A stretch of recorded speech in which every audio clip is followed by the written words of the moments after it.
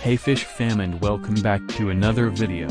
Today I will be covering the newly released custom servers, or also known as private servers. Let's dive right in.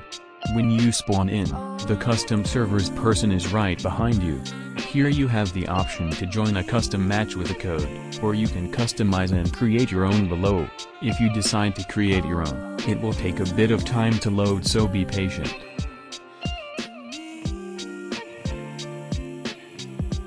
When you join in and if you are the owner, you will get these options at the bottom. You can choose to join any team or spectate.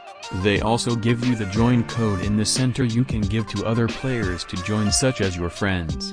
You also can start the match or go back to lobby. I honestly think this is one of the most wanted updates. Since the beginning, content creators and players alike have been wanting a private server update, but the custom matches is even better.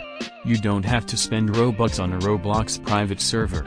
Comment down below what you think, make sure to subscribe and I'll see you in the next video.